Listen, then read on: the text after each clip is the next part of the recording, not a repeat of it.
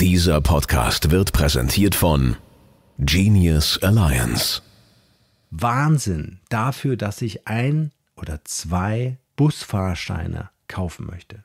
Also das wollte ich euch mal erzählen, so als, als kleine Geschichte, wie Digitalisierung auch einfach nur das Erlebnis zerstören kann. Und genau dieses Erlebnis habe ich auch, und äh, da ist Vollautomatisierung in Prozessen einfach auch ein Verhinderer, äh, dass sich Startups und Investoren wirklich finden können.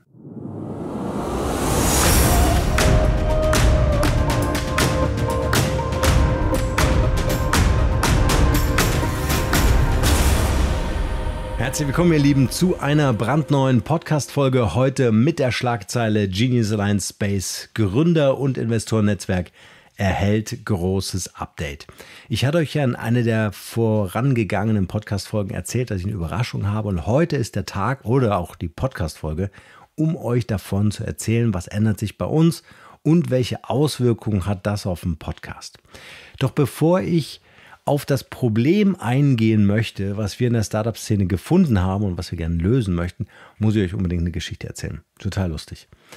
Äh, stellt euch vor, äh, für mh, hm, zwei meiner Kinder wollte ich eine Fahrkarte bestellen. Das ist so ein 365-Euro-Ticket. Damit können die mit einem Bus über verschiedene Dorfgrenzen hinaus in die Schule fahren.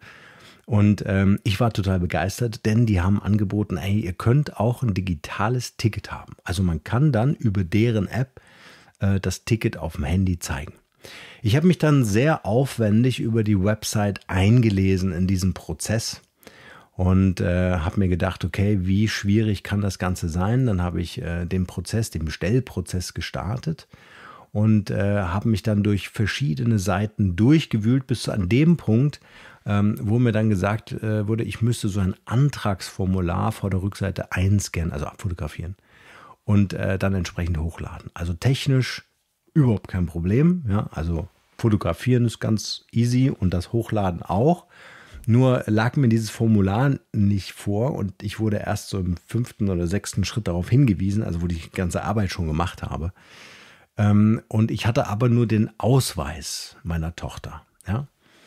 Ähm, und dieser Ausweis äh, war halt nicht das Formular. Also habe ich da angerufen und gesagt, ich bin gerade hier mitten im Bestellprozess. Ich hoffe, das bricht jetzt nicht ab. Ja, ich habe mir voll viel Arbeit gemacht. Jetzt wollen die von mir ein Formular. Das habe ich nicht. Ich habe jetzt nur den Ausweis.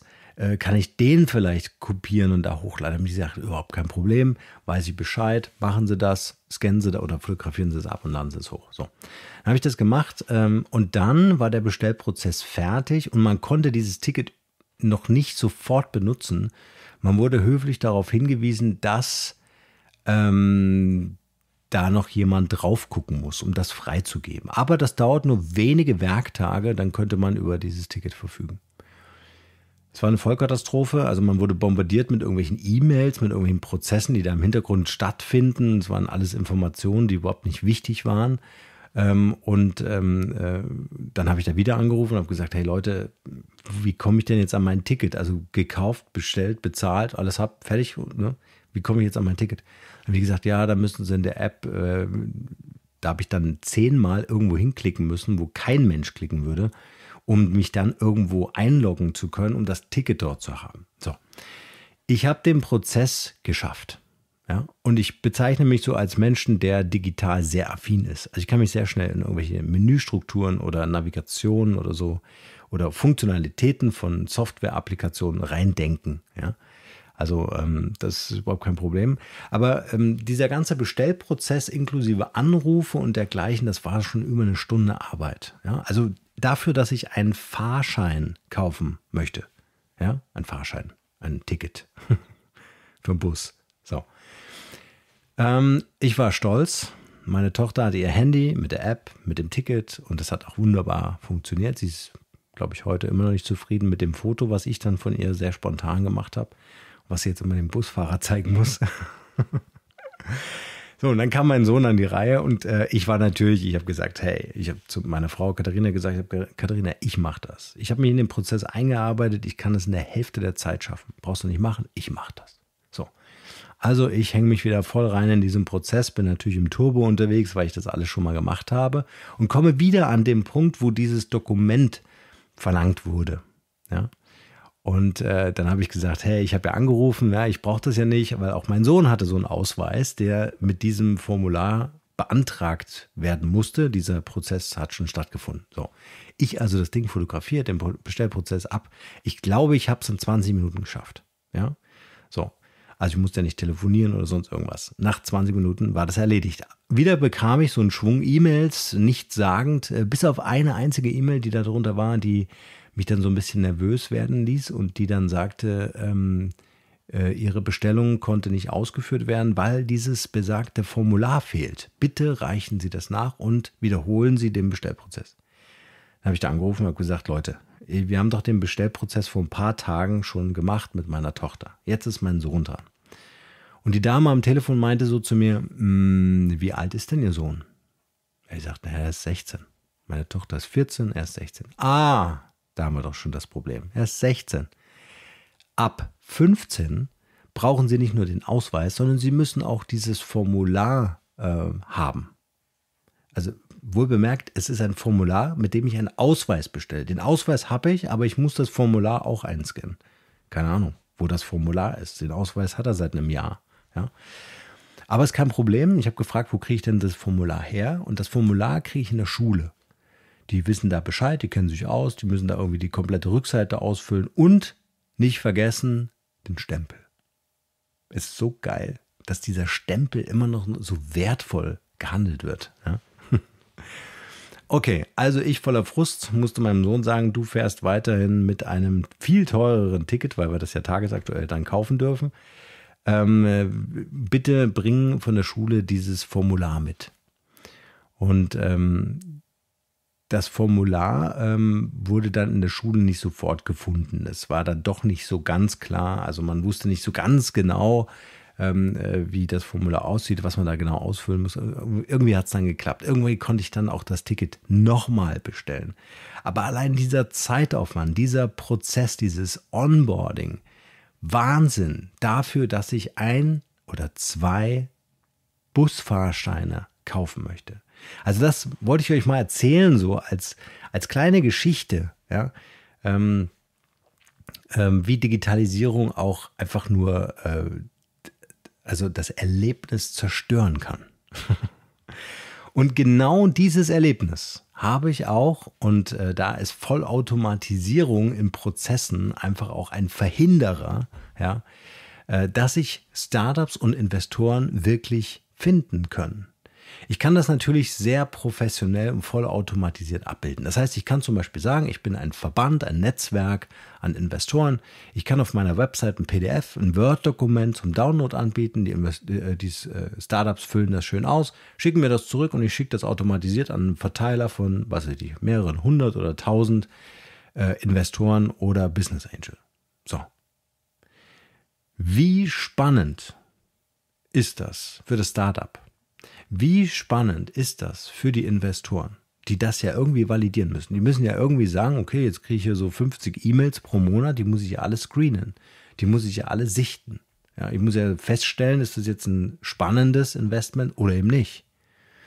Und was alle ähm, Investorengespräche, die ich so geführt habe, ja, um das äh, mal herauszufinden, ähm, eint, ist, dass sie gesagt haben, was das Wichtigste für uns ist, ist dieses Zwischenmenschliche. Ist das Team? Funktioniert das Team? Ist das Team komplementär, äh, zum Beispiel in den, in den Kompetenzen ja, und in den, in den Prozessen? Ähm, all das ist das super wichtige Entscheidungsgrundlage. Es gibt diesen schönen Satz, äh, ein, ein erstklassiges Team kann eine zweitklassige Geschäftsidee zum Erfolg führen. So. Das heißt, wie wichtig ist denn dieses persönliche, dieses nahbare, dieses, dieser intime Austausch mit den Menschen dahinter? Ja, das kann ich niemals über eine Word-Vorlage oder ein PDF-Formular oder äh, gibt ja auch diese Plattform, auf der du so eine Anzeige erstellst. Ja, machst ein hübsches Bild rein, lädst dein Pitch-Deck hoch, ein paar Finanzkennzahlen, äh, USP und so. Also, das ist alles vom Prozess her prima, automatisiert. Also die Plattformbetreiber, die sagen, hey, mein Konzept hat einen schlanken Fuß. Das Erlebnis ist aber grottenschlecht. Und damit verhindern automatisierte Prozesse regelrecht Investitionen in innovative Geschäftskonzepte. Weil ich glaube auch nicht, dass so die, die Top-Level-Leute, Startups, äh, sagen, ich mache jetzt mal eine geile Anzeige auf irgendeiner Website. Wenn man mal ehrlich ist, oder? Die hasseln da durch. Die bauen sich irgendwie anders Netzwerke auf. Aber so richtig auf einer, weiß ich nicht. Kann man, kann, können wir ja mal diskutieren. Schreibt, euch, schreibt mal eure Meinung unten in die Kommentare unter den Shownotes dieser Podcast-Folge. Ein kurzer Break an dieser Stelle für einen Hinweis in eigener Sache. Viele Tech-Companies und Unternehmen mit digitalen Geschäftsmodellen, ganz egal ob Startups oder fest im Markt etablierte Unternehmen, stehen mehr und mehr vor einer großen Herausforderung. Sie alle sind auf der Suche nach Mitarbeitern im Digitalvertrieb. Kein Wunder, denn wir haben derzeit einen viermal so hohen Bedarf an Vertriebsprofis, als der Markt an Spezialisten im Moment überhaupt aufweisen kann. Hinzu kommt, dass durch die Digitalisierung immer mehr Top-Leute im Digitalvertrieb gebraucht werden. Und hier kommt die Schwäche unseres Bildungssystems zum Tragen. Es gibt keine Ausbildung bei der Industrie- und Handelskammer oder Universität, in der du Vertrieb und Verkauf wirklich lernen kannst. Ich war selbst Verkaufstrainer bei einem der größten Versicherungskonzerne und weiß, wie wichtig die Verkaufs- und Vertriebskompetenz als Motor im Unternehmen ist. Die gute Nachricht, wir haben das Problem gelöst. Denn wir bringen Podcasting und Digitalvertrieb in einer einzigartigen Kommunikationsstrategie zusammen. Der Podcast wird für dein Unternehmen zu einem wertvollen Instrument, um echte zwischenmenschliche Beziehungen und vor allem tragfähige Netzwerke aufzubauen. Unternehmen, die sich für eine Full-Service-Produktion bei uns entscheiden, sind mit Sicherheit perfekt im Digitalvertrieb für die Zukunft aufgestellt und gewinnen sofort neue Kunden. Wir bauen das Know-how im Podcasting und Digitalvertrieb auch in deinem Unternehmen auf oder, wenn dir das lieber ist, bringen wir eines der Talente mit, die wir bereits ausgebildet haben. Wie das Ganze funktioniert, erzähle ich dir in einem kostenfreien Strategie-Call via Zoom. Den Link findest du wie gewohnt in den Show Notes dieser Podcast-Folge. Aber jetzt geht's erst einmal weiter hier. Viel Spaß! Wie wollen wir das Ganze nun lösen? Also, Genius Alliance Space ist quasi unsere Online-Plattform für die Genius Alliance GmbH. Genius Alliance GmbH ist ein Startup Accelerator, das heißt, mit dem, was wir in den letzten Jahren gebaut haben an Netzwerken von Investoren, Digitalexperten und anderen Startups, anderen Gründer und Gründerinnen, ähm, das alles äh, wollen wir in einem Universum äh, zur Verfügung stellen, und dieses Universum heißt Jeans Align Space. Vielleicht wird es irgendwann mal so ein Metaverse. Hm? Da können wir ja noch mal überlegen, lieber Jakob. so, und ähm, äh, in diesem Jeans Align Space kannst du dich kostenfrei anmelden. Das ist so und das wird auch immer so bleiben. Das ist uns wichtig, dass du auf dieser Plattform unsere Podcasts äh, anhören kannst, dass du unsere Blogartikel lesen kannst, den ein oder anderen Workshop. Ich glaube, wir haben jetzt einen Finanzworkshop diese Woche äh, dir ähm, reinziehen kannst. Also all das kostenfrei auf der Plattform verfügbar. Obendrauf kannst du noch eine ähm, äh, Mitgliedschaft in eine oder mehrere unserer Communities haben, wenn du möchtest. Da gibt es zum Beispiel die Genius Alliance Community, wo sich die Startups generell austauschen ihre Geschäftskonzepte hin und her schicken und sagen, hey, kann man uns mal drauf könnt ihr mal ein Feedback schicken zu dem Teil, was fehlt euch hier noch, ist das verständlich? Ja, also hier tauschen sich Startups aus. Dann ganz neues Thema, mir persönlich auch ein sehr wichtiges Thema ist das ganze Thema Female Alliance. Da engagieren wir uns für Gründerinnen. Wir wollen speziell Gründerinnen verhelfen, Investoren zu finden. Wir wollen, dass Männer und Frauen gleich berechtigt, gleichgestellt sind ähm, äh, bei den Investoren. Und deswegen äh, gehen wir hier ganz speziell mit dieser Initiative Gas und Gründerinnen zur Seite zu stehen. Und davon natürlich nicht vergessen, den Markenrebell mit der Markenrebell Community. Hier geht es um das Thema Branding, Podcasting im Digitalvertrieb. Super spannendes Thema. Es sind aber nicht die einzigen Communities, sondern es werden mehr dazukommen, wie zum Beispiel Startbahn 27. Das ist eine Initiative, ist ein Accelerator für äh, Tech-Unternehmen im Kreis Schweinfurt und Umgebung. Also das sind so regionale Engagements, die wir haben. Äh, oder es wird äh, zum Thema Web 3, Dezentralisierung, äh, eine Community geben, beziehungsweise die gibt es schon. Äh, könnt ihr euch gerne mal anschauen und äh, dort auch gerne Mitglied werden und so weiter und so fort. Also verschiedene Communities zu unterschiedlichsten Themen, die irgendwie alle mit dem Thema Startups und ähm, ja, Digitalisierung, Zukunft und so weiter zu tun haben. Und natürlich mit Investoren. Weil es wird auch eine Community geben, die könnt ihr aber nicht sehen. Die ist nämlich geheim, für die Öffentlichkeit nicht zugänglich. Äh, das äh, ist die Community für unsere Investoren. Also wenn du jetzt ein Investor bist, hier zuhörst, dann ist das vielleicht für dich interessant. Unsere Investoren heißen übrigens Genius Angel. Und deswegen gibt es die Genius Angel Lounge. Dort stellen wir validierte Startups, die wir kennen, mit denen wir vielleicht gearbeitet haben, äh, die wir gesichtet haben äh, und wo uns auch dann alle Unterlagen zur Verfügung stehen, äh, die stellen wir dort auf die Plattform ein und damit den Investoren und Business Angel vor, die dann mit den Startups Kontakt aufnehmen können. Also das ist so ein, weil es gibt viele Privatinvestoren eben auch und die wollen nicht in der Öffentlichkeit stehen und deshalb sind die in dieser Plattform sozusagen unter sich und können sich dann, äh, dann über diese Plattform ähm, die Startups anschauen. So, dann gibt es natürlich noch den Bereich, der mir persönlich natürlich auch wichtig ist, das Thema Weiterbildung. Die Genius Alliance University steht für das ganze Thema Bildung deshalb, weil wir natürlich wissen, und das ist unbestritten, Bildung ist der wichtigste Wachstumsfaktor.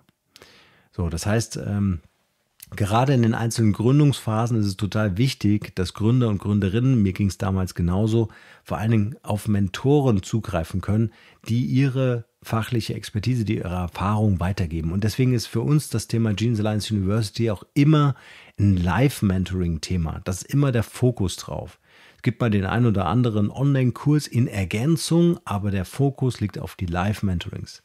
Weil wir einfach glauben, dass Wissenskonserven, also wenn du jetzt auf einer Plattform bist, wo du dir nur Aufzeichnungen angucken kannst, dann weißt du halt nicht, wie aktuell ist das Thema. Es gibt Themen, die sind immer brandaktuell, so Persönlichkeitsentwicklungsthemen ganz oft, ja. Aber zum Thema Online-Marketing, wenn du da einen Kurs hast, der drei Monate alt ist, dann ist das alles schon wieder hinfällig. Ja. Also es gibt äh, ja, immer wieder Themen, die so schnell in Bewegung sind. Oder mit Michal Menten hatte ich letztens einen Podcast zum Thema, ähm, äh, wie kann ich eine Plattform bauen, eine Community aufbauen, ähm, äh, die unabhängig funktioniert. Ja, da musst du einfach schnell sein können. Ja, wenn du da ein halbes Jahr brauchst, um dein Produkt zu testen, äh, dann ist das unter Umständen schon veraltet. Also Live-Mentorings ein super wichtiges Thema. Ich möchte persönlich ein eine Beziehung herstellen können zu den Mentoren auf der Plattform auf der einen Seite, aber auf der anderen Seite will ich natürlich auch meine ganz individuellen Fragen loswerden und Antworten bekommen.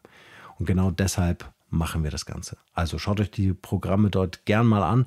Übrigens, alles, was ich hier erzähle, gibt es auch in einem umfassenden Artikel in den Shownotes zu dieser Podcast-Folge. Also braucht ihr nichts aufschreiben, sondern einfach nur vorbeischauen und euch das Ganze mal anschauen. Es gibt noch einen Service bei uns auf der Plattform, nämlich die Investorensuche. Das ist quasi ein Service, der jedem Startup bei uns auf der Plattform zur Verfügung steht. Also wenn du schon so weit bist, kannst du über eine Online-Anfrage sofort und gezielt das Genius Alliance Team losschicken und nach Investoren suchen lassen. Ja, also das mal ausprobieren. Auf der linken Seite ist es, glaube ich, im Menü Investorensuche und ähm, dann kannst du das anstoßen.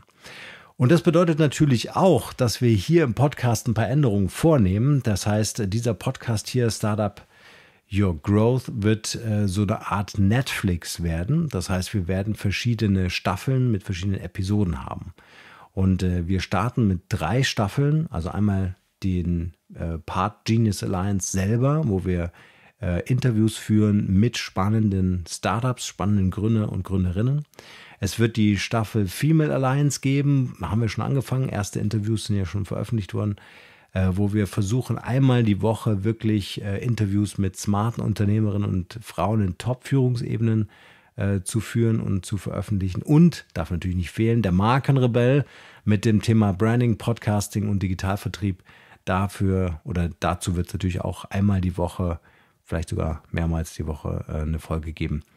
So, das heißt, ihr habt einfach ein viel breiteres Portfolio und wir hoffen einfach, dass wir mit unseren Themen und äh, dieser Harmonisierung oder Synchronisation Podcast und Plattform einfach euch so wertvoll, so wertvollen Content wie möglich anbieten können und äh, vor allen Dingen auch so individuell wie möglich ähm, einen Ort schaffen, ein Universum schaffen, ein Space schaffen, in dem ihr euch untereinander vernetzen könnt, also als Startups vernetzen könnt, aber eben auch Kontakt aufnehmen könnt mit den Investoren, äh, die wir an die äh, Plattform anbinden werden oder schon angebunden haben. Dann gibt es noch die Jeansline Studios zu guter Letzt. Das ist ja unsere Full-Service-Podcast-Manufaktur.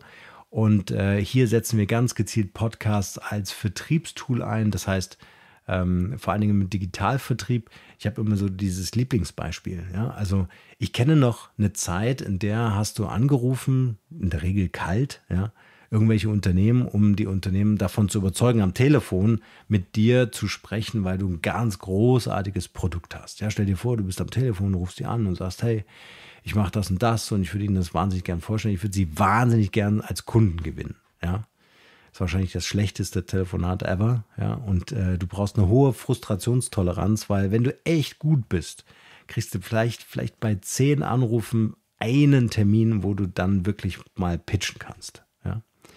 Mit einem Podcast ist das ganz anders. Ja, wenn du Leute in deinem Podcast einlädst, also mal angenommen, du rufst zehn Unternehmerinnen und Unternehmer an, dann wirst du in der Regel auch zehn Zusagen zu deinem Podcast bekommen. Es sei denn, diesen rigorosen, sage ich, will überhaupt nie in die Öffentlichkeit. Ja, das kann natürlich auch passieren, aber in der Regel sind, freuen sich die Leute darauf. Ja.